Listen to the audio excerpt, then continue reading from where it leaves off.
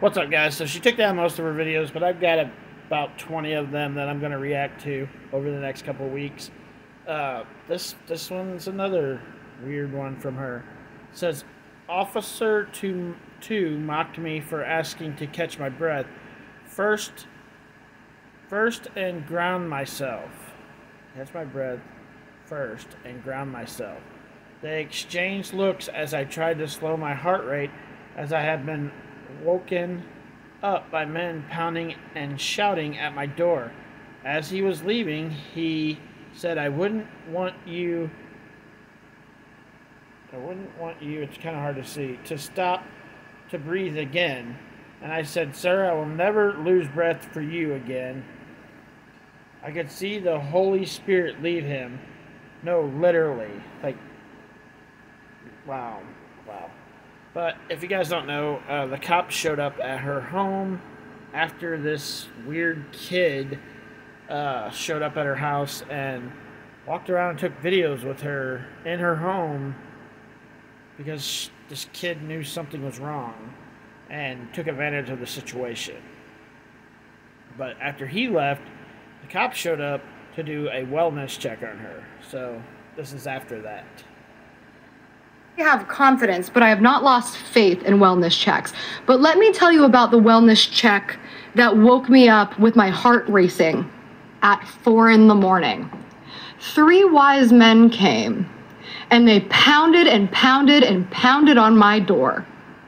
So I came downstairs and I answered and I said, Can I help you? And they said, What's going on? And I said, I'm sleeping. Or I was. What's going on with you? And they said, We keep getting a lot of calls. I said, Regarding what? And they said, You keep posting videos online. And I said, Okay. And they said, Well, can you post a video for us saying, and I said, Oh, I'm sorry. So should I post videos or should I not post videos? So then I looked them all in the eye and I said, Can I have a hug? And wise man one said no. And I looked the second one in the eye and I said, Can I have a hug? And wise man two said no. And then I looked the third one in the eye and I said, Can I have a hug? And wise man three said no because they came to check on the wellness of a damsel in distress. And she told them exactly what she needed, and they denied her.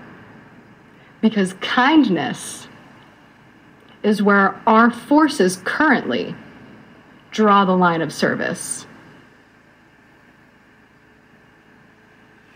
Like, you could tell that something's wrong with her in these videos as I post them. And this one's no different. But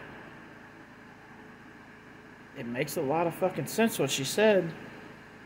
A lot of fucking sense in this one. Like, you can tell she needs some help. I, I, I'm, I'm not trying to get past that. But this one makes sense. It makes a fucking whole lot of sense. The fuck do we got cops for if they're not actually to be there to fucking help? I I don't want to get rid of cops because without cops, there's no fucking law. Without no law, everybody's to be scared. But not every cop needs to be a cop. Just saying.